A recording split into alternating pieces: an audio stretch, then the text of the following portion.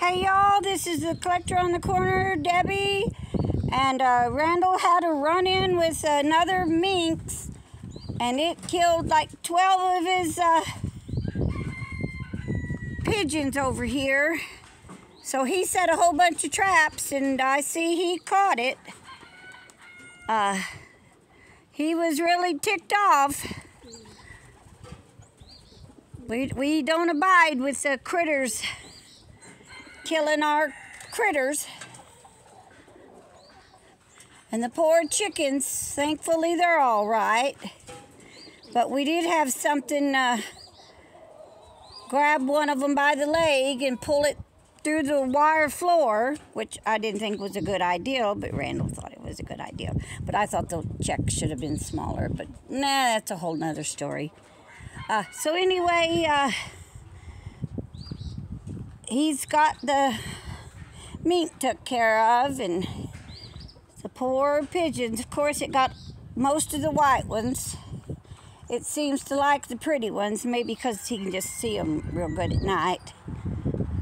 But anyway, uh, uh, Randall's dragged this here wagon down. He's going to take over to our son, uh, Ben, because he uh, is going to let him have it. And I think it's a pretty cool wagon. I think actually I could haul it behind my little car, but I don't know if he would let me. Besides, I ain't got the money to fill it up with groceries anyway. Jeepers creepers. Take a lot of dough to fill it up with uh, with uh, groceries. Somebody did a terrible job there, probably Randy. I'll blame it on him. Looks like they did some torching. But anyway, ooh, looks like somebody tried to take the tar off. Minos. Hi, Mr. Miss Goose. And here's Randy's truck. He was driving it earlier. And he's got his big long saw for that firewood that is longer than, I don't know, pretty dang long. And he's over there. He can't hear me, but he's working on a tar. But that's okay, because don't need to bother him anyway. He's uh, busy working. And looks like he cut up some wood. So we'll have firewood tonight. Because the firewood pile is zero. And uh, yeah, I think Randall's losing in the firewood uh, department. Oh, there's one of Randall's shirts. So when he starts wondering where his long sleeve shirts are, I can uh, tell him, go look at a video. You'll see where your shirt's at. But anyway, I ain't got much to say. Just wanted to say Randy's uh, out here working on tires. He's always working on tires. Don't know why he just don't go take some of his hard-earned money and go buy him some tires. But he's like, no, I've got plenty. Then he puts the tire on and it goes flat, and I get to laugh at him. Sometimes it's flat before morning. I know, shouldn't laugh. Nothing! Nope, not making no video. I'm just over here looking at this here trailer. You, you just keep doing what you're doing. Rats. The jig is up. He found me. This World War II bomb trailer. I know. It was with Pat, Third Army. Uh huh. Was you was you there too? No, I don't think so. Not this life. Uh huh. Some farmer had it had tailgate welded shut. Oh, I cut it loose, yeah. And you did a lousy job. and there's a piece of steel in the bottom, and I cut that out. These here Uh huh. little brackets was so they could strap them bombs down where they wouldn't be rolling around.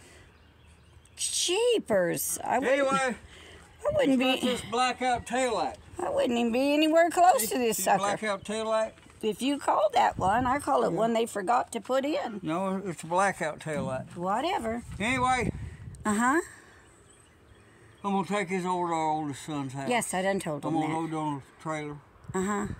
And I'm working on his His what? power wagon. Oh, okay. No, I'll show you what I'm doing. no, you're you're fixing over tires. Over. No, I. This is my video. It's a short video, and I'm saying goodbye and what? I'll show his power wagon around. Oh, jeepers.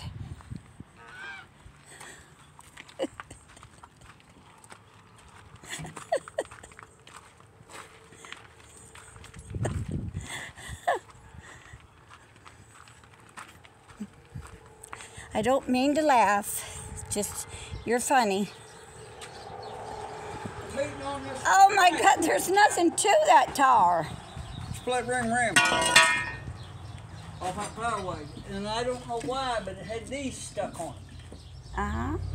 See, there's some there. I don't know what them are. That's the first time.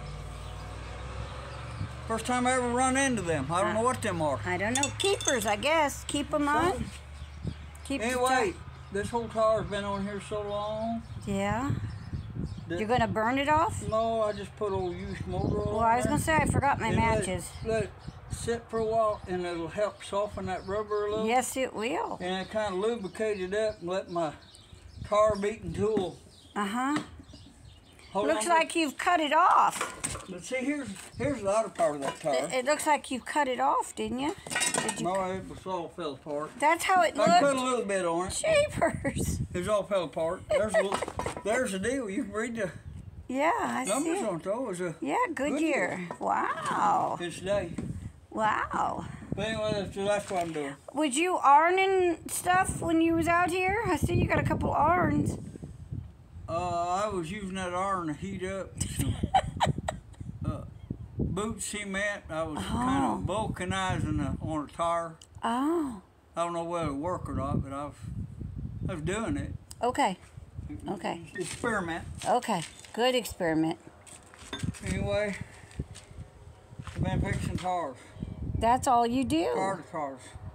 Uh, I've got four on my truck that hold air, and I've got a spare that'll hold air.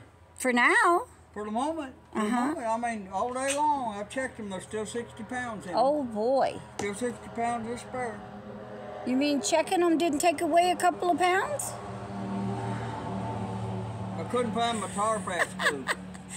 You you lost your tire patch glue again? No. So Oh, it was in your I underwear went to the house and Debbie said something about. She said, It's "Little in your- had glued to something with some kind of glue, Oh, yeah. And it had to been my tar patch glue." And a little can of that It's about 14 bucks. It's expensive, yeah. So I had to go to the parts store and pay another 14 bucks for another little can of tar patch glue. But I, I put it up in uh, a But he hid it and he couldn't find it, and I told him it's in your underwear drawer. So Yeah. he got in his underwear knew drawer. can, I brought it in. I There it "Well, hide this." I was. stuck it in the underwear drawer for a little while. Yeah. So I've got locked up in there in a, in a file cabinet. Yes. I might not I like the- your I fashion. might not find the key to that file cabinet. I like your fashion statement. Yeah. You don't know if you're uh, red or blue? I've got another pair of shoes somewhere just like these, but they're for the other opposite feet. Uh, really? I'll be Yeah, darned. They're for the opposite. Okay, well, I guess that we'll say goodbye and good luck to you. And Yeah, good, goodbye and good luck to you. And I sure appreciate everybody subscribed. The last time I looked, I was at 981. But I've been to 980 two or three times and then it dropped back down to 979, 978, and back and forth. I don't know if YouTube's unsubscribing people. I think they're unsubscribing because you were just- you were unsubscribed to a couple Pe- of people, and, and people had to like resubscribe. Joining Debbie being mad because I went 400 miles from a chainsaw. I don't know, but you know. Well, you know, you you never go 400 miles for me. How's that sound? I would too. If I'd have to be- if- right 50, 60 Pontiac. No, I'm talking about I'd have to If- be carrying a chainsaw. right 60 Pontiac, I'd Uh-huh. go five, six, seven hundred miles to get it. If it's the right car at the right price, I would. Really? Oh wow! You hear that, everyone? Have you got a a '60 Pontiac Catalina four door, cheap? Price gotta be right. Yeah, price got to be right. Well, Gotta anyway, what I can afford. yeah, what we could afford, and and uh, I went grocery shopping, so we can't afford much. Not until, until the third Wednesday of the month. Well, anyway, goodbye and good luck to y'all, and thank you for watching. And please like and subscribe and comment below, and share with your friends. Bye.